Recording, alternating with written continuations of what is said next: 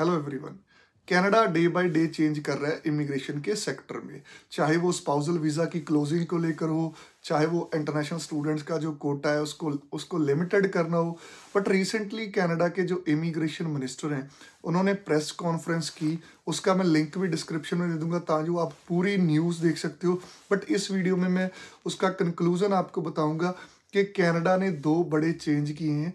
एक तो है टेम्प्रेरी फॉरेन वर्कर के लिए और दूसरा है वीज़ा कोटा को लेकर। पहले उन्होंने स्टूडेंट वीज़ा का कोटा बताया था कि इतने स्टूडेंट वीज़ा कनाडा इशू करेगा और उनके पास बहुत ज़्यादा स्टूडेंट हो रहे हैं, इसलिए वो कटौती करेगा और लिमिटेड नंबर ऑफ़ एप्लीकेशन लेगा। बट अब नया चेंज कनाडा ने किया है।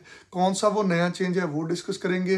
वीडियो स्टार्ट करने से पहले हमेशा की तरह मेरी रिक्वेस्ट है अगर आप हमारे चैनल पर फ़र्स्ट टाइम विज़िट कर रहे हो, चैनल को ज़रूर सब्सक्राइब करना, लाइक ज़रूर करना और किसी भी तरह की वीज़ा फाइलिंग में हेल्प चाहिए तो नंबर यहाँ पर फ्लैश कर रहा है, आप हमें कॉन्टेक्ट कर सकते हो।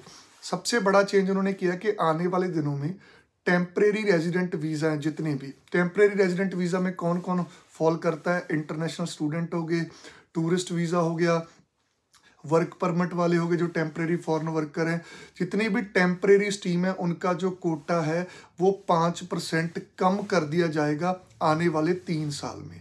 क्योंकि कनाडा के इमिग्रेशन मिनिस्टर का मानना है कि यहाँ पर बड़े नंबर्स में फॉरेन वर्कर आ रहे हैं, जिससे जो लोकल नेटिव्स हैं, उनको प्रॉब्लम आ रही है। अब ये उनका ओपिनियन है राइट तो ये बड़ी अपडेट है। इसमें स्टूडेंट भी आएँगे, इसमें टूरिस्ट भी आएँगे, इसमें इंटरनेशनल जो फॉरेन वर्कर हैं, वो भी आएँगे। दूसरा बड़ा चेंज है जी टेम्प्रेरी फॉरनर वर्कर को ही लेकर है कि पहले एलएमआई की जो वैलिडिटी थी लेबर मार्केट इम्पैक्ट असेसमेंट वो एक साल होती थी।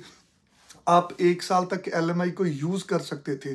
बट फ़र्स्ट मई से कनाडा ने ये बड़ा चेंज किया है। अगर आपने एलएमआई चाहे अप्रूव करवा के रखी है प्री अप्रूव आपकी एलएमआई है, चाहे आपने किसी के नेम के ऊपर इशू करवाई है और वो आप टेम्प्रेरी फॉरेन वर्कर हायर करना चाहते हो कहीं से भी इंडिया से, किसी अदर कंट्री से तो आपकी जो एलएमआई है, उसकी वैलिडिटी सिक्स मंथ कर दी गई है। जी हाँ पहले ट्वेल्व मंथ था, अब उसकी जो वैलिडिटी है, वो सिक्स मंथ कर दी गई है। ये दो बड़े चेंज कैनेडा के इमिग्रेशन मिनिस्टर ने किए कुछ और भी एडिशनल चेंजेस हैं बट जो दो मेन मेजर चेंजेस हैं, वो यही हैं। पहला जो वीज़ा कोटा है, वो पाँच परसेंट से कम कर दिया गया है।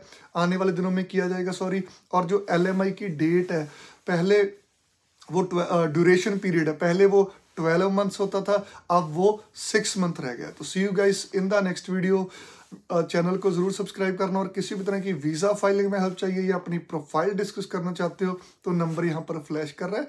आप हमें कॉन्टेक्ट कर सकते हो। Thank you.